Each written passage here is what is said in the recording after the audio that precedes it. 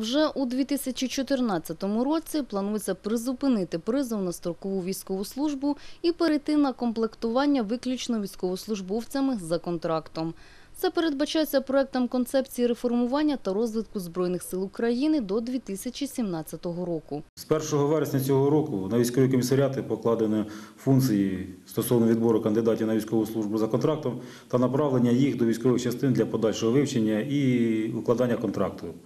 Е, До 1 вересня е, цими обов'язками займалися територіальні центри комплектування, е, які відповідно до реформування Збройних сил України були скорочені у серпні цього року. Зараз, а з 2014 року більше, потрібна буде велика кількість чоловіків та жінок, які будуть нести військову службу за контрактом. Звісно, для цього повинні бути якісь заохочення та перспективи.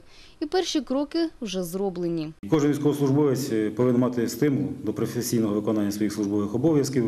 Е, Зокрема, професія повинна добре оплачуватися.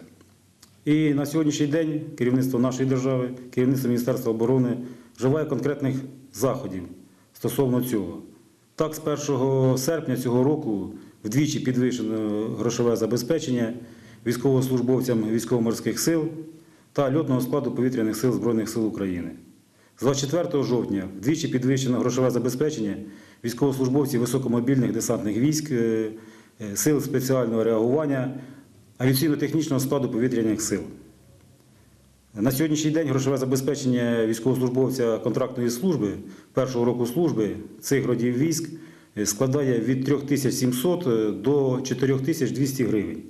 Але це не буде кінцевою метою. За попередніми підрахунками, контрактник першого року служби до 2017 року отримуватиме приблизно 5800 гривень. Окрім грошового забезпечення, є і інші мотивовані аспекти військової служби за контрактом. Це такі, як е, забезпечення речовим майном на період служби, утримання на продовольчому забезпеченні або виплата компенсації у розмірі набору продуктів для приготування обіду, це безкоштовне медичне обслуговування у військовому шпиталі, можливість отримання безкоштовну професію е, та військову спеціальність, забезпечення військовослужбовців та членів сімей е, службовими житловими приміщеннями. Звісно, не всі люди підходять для служби в армії за контрактом. Є певні умови. На військову службу за контрактом на посади рядового сержантського складу приймаються громадяни віком від 18 до 40 років, які визнані військово-лікарськими комісіями придатними до військової служби. Таких категорій, як військовозобов'язані та жінки, які мають е, споріднену професію з військовою, а також призивники, які мають повну середню освіту.